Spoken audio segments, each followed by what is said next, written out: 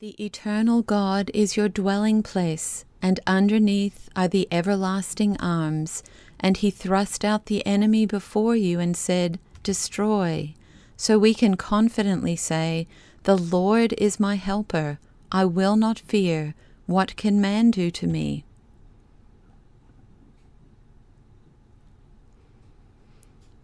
He subdues the ancient gods, shatters the forces of old.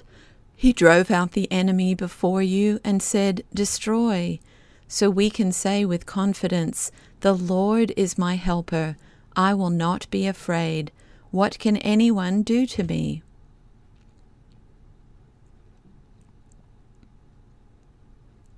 The eternal God is your refuge, and underneath are the everlasting arms.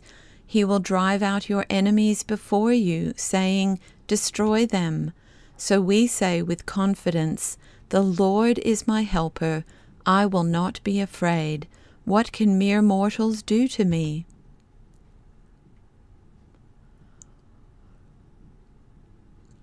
The eternal God is your refuge, and his everlasting arms are under you.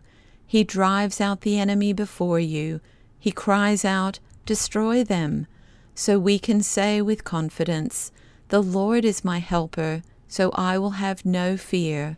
What can mere people do to me?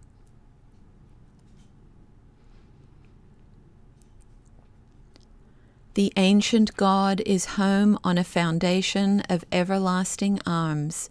He drove out the enemy before you and commanded, Destroy.